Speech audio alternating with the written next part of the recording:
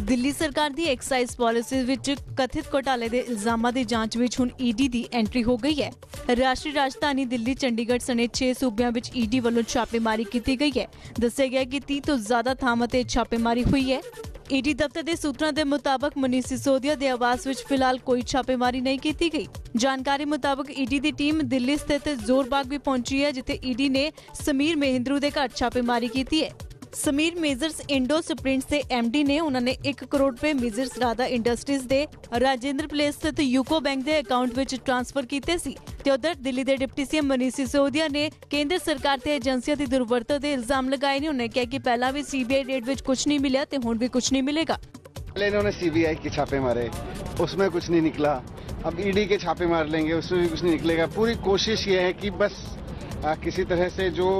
देश में शिक्षा का माहौल बना अरविंद केजरीवाल जी काम कर रहे हैं उसको रोक दिया जाए उसको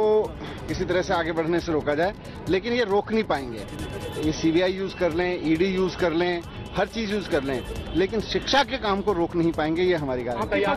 की क्या ईडी की नहीं मेरे पास कोई सूचना नहीं है आप ही लोगों से सूचना करता है आए मैं तो सीबीआई के लिए भी एक- मेरी क्या तैयारी है? मेरे पास कुछ है नहीं मैंने ईमानदारी से काम किया है मैंने स्कूल बनवाए चार स्कूलों के नक्शे और मिल जाएँगे उनको।